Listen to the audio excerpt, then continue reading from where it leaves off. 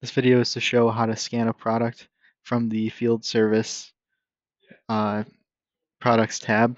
So we have our field service app. We're in our uh, task for this project.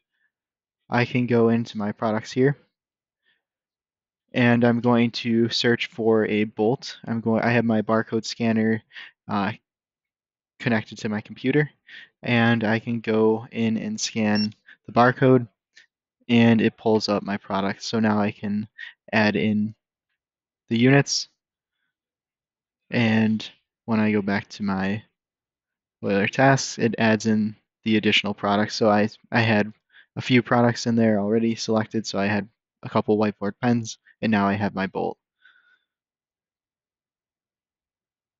So now when I go to my uh, sales order, we'll see the products on our sales order line. And we see them here now. Thanks for watching.